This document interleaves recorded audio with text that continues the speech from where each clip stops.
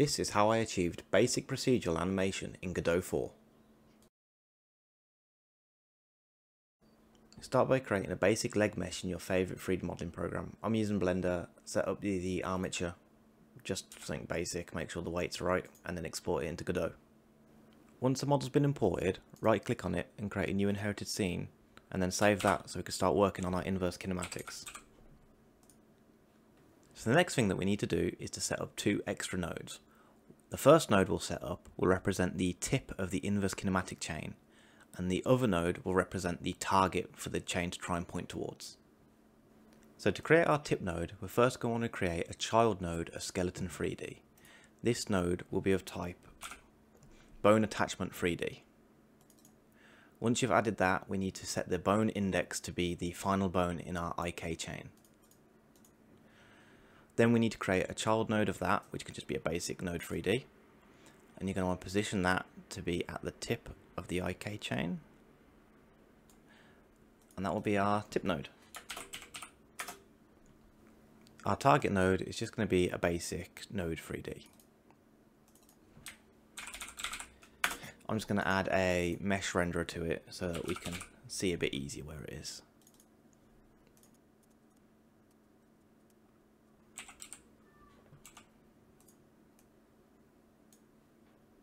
Now we're ready to set up our inverse kinematic chain. To create an inverse kinematic chain in Godot 4, start by selecting your skeleton 3D. Create a new modification stack. Make sure it's enabled and in the drop down for modifications, add a new modification. Godot 4 has three different IK algorithms. You've got CCDIK, FABRIK, and Two Bone. I'm going to show you how to set up CCDIK and FABRIK.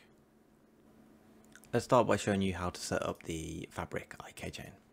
This is the simplest one to set up and I feel like it creates the most natural results, but there is a downside that I'll cover later. So start by adding the chain length, which will be um, one for every bone in your IK chain, so in this case three. Then set up the joint data. You're going to start by going from the root of your IK chain and then down to the end. So start with the top, then the next one, and then the last one. Finally, I find you get better results if you use tip node on the final one. So tick that and then drag in our tip node from earlier. And then finally, we just need to set the target. And there you go, inverse kinematics. So as I said earlier, I feel like the FABRIK algorithm creates the most realistic looking results. The only problem is, unlike IK chain methods that I'm used to in the past, you can't set a pole node that you want the joints to point towards. Instead, you have these magnet positions, and it, it just doesn't seem to behave how I expect it to. It's probably my misunderstanding here. But if I try to, say, add a upward force on the middle joint, it seems like it works, but then you get weird behaviors where it just kind of snaps down. And for, for our purposes, we want to set up a spider-like appendage. So we're going to want it to kind of stay upwards in an arc. And I'm just having trouble keeping consistent results with that in here. So for our purposes, we're going to use the CCDIK modification instead. Just quickly before moving on to CCDIK, let me show you how you can add a default pose to the bone. So if you click your skeleton 3D, you can then hit this little bone edit mode button here on the tab can then select each bone and just rotate them into your desired pose.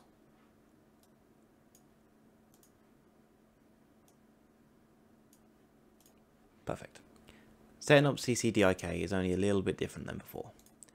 Add the modification and then start by assigning the tip node and the target node. Then we're going to want to add our joint data. So one of the limitations of CCDIK is that each joint can only rotate on a single axis, but we can get around this by adding the same joint multiple times on different axes. So even though we only have three bones, we're going to add four to our chain. And then our root joint, we're going to want to rotate on the y-axis and the z-axis. So we'll start with the y. Then put in the same bone again and add on the z. Then our final two bones we're going to add on the z-axis alone.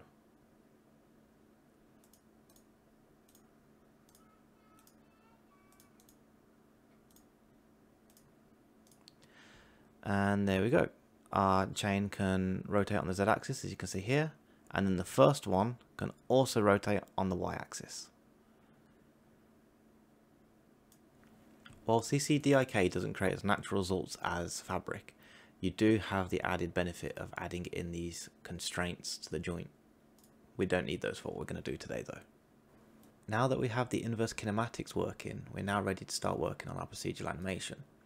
The first step that we need to do is we need to make sure that the inverse kinematic target doesn't move with the rest of the body that the leg is attached to. There's two ways we can achieve this. The simplest method is to just make sure the target is in a completely separate hierarchy to the entity that we're creating. The other method is to, in our leg, add a blank node and reparent the target to the node. That way, whenever the leg transform gets updated, the target remains still. Now we just need to create a stepping animation for our IK target. But before we can do that, we need to know the position of where we're going to try and step towards. To do that, we can just create a simple step target and have that parented either to the leg or to the body of the entity we're going to create and move that a certain distance across the body. Then what we can do is as the entity is moving forwards, we can keep checking the distance between the IK target and the step target. Once a certain threshold has been reached, we can just animate the IK target going up and then down towards step target and then the body can continue moving. Every time that happens it'll just create a step.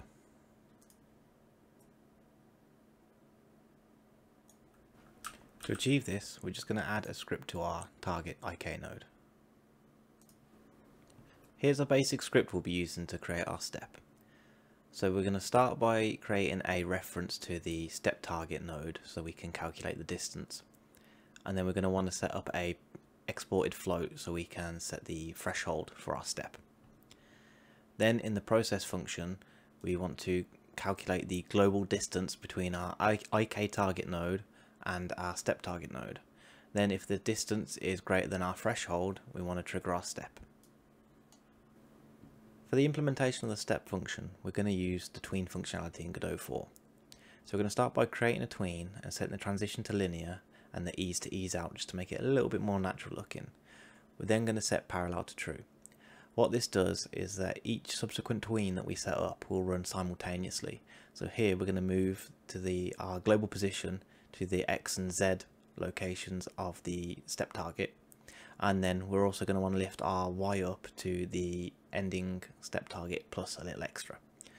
We then set parallel to false so that once the Y position tween has finished it will then start moving our Y position back down to our step target. Finally I've added tool at the top of the script so that the script will run while in the editor and I can demonstrate what it's doing. Now we can test our script within the editor. Start by reloading the scene just to make sure the script will run. Then we can just grab our leg transform and move it along and see if the step works.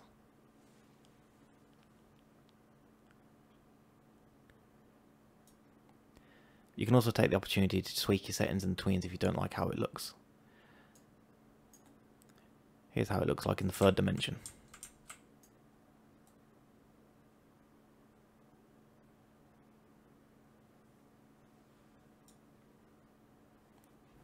Now to make sure our leg is always stepping on the ground, we want to add a ray cast to our step target looking down at the ground and if it detects a hit, move the step target to the hit location.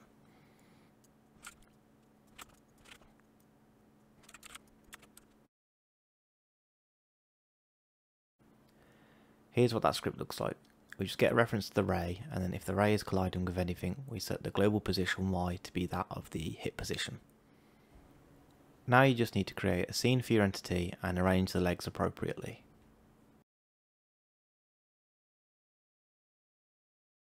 When you start to add multiples of your legs to your entity scene, you'll find that when you start to move one, they both move.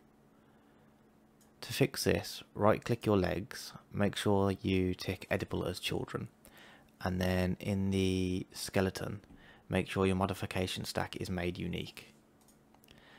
That way, they stop affecting each other. Once you've done placing your legs on the body, play about with the starting positions and the step targets until you get an effect that you like.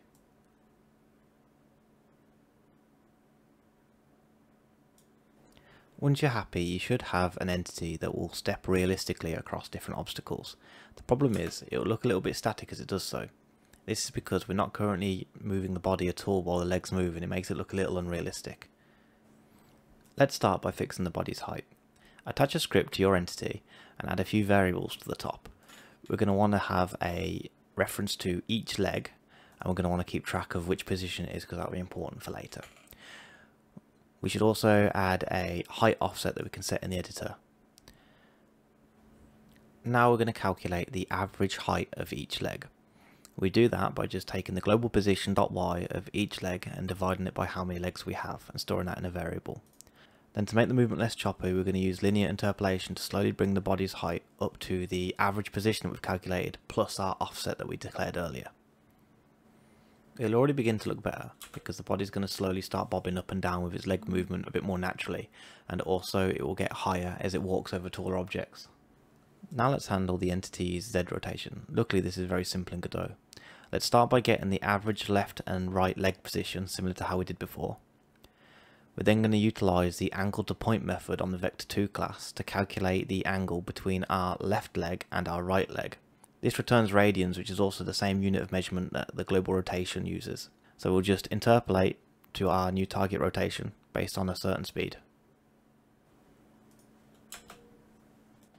This is already looking significantly better than before. Now we just need to handle the entity's X rotation. Luckily this is achieved exactly the same as before, except we take the average back and forward leg positions, and in our vector 2 we use the Z position instead of the X position to calculate our angle. Be sure to minus out the resulting difference in this, otherwise it will rotate in the wrong direction. And this is the finished procedural animation. There's a few things you could do on your own to improve the effect. One thing would be to make sure that a leg can only take a step when its opposing leg is grounded. Another thing that I think would be really good is to move the step target based on the current velocity of the entity. That's it for this video. Thank you for watching. If you've got any suggestions on any topics you'd like to see covered in Godot 4, please drop it down in the comment section below and I'll try and get around to it. If you found this video useful, please drop a subscribe. It'd be really helpful. And yeah, see you in the next video. Cheers.